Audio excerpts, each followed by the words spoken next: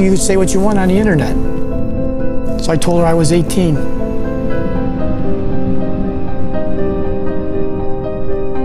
The internet became his world. It allowed him to be something that he wasn't. And uh, so all of a sudden, he was an 18 year old Marine.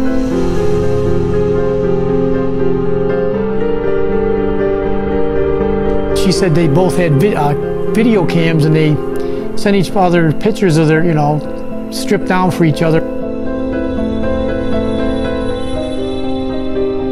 And she did it over and over again.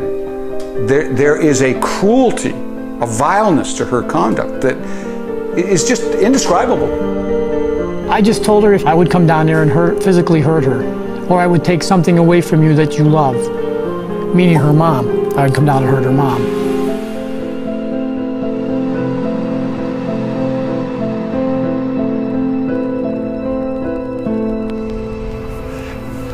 How do you do that to a stranger? And how can you do that to your child?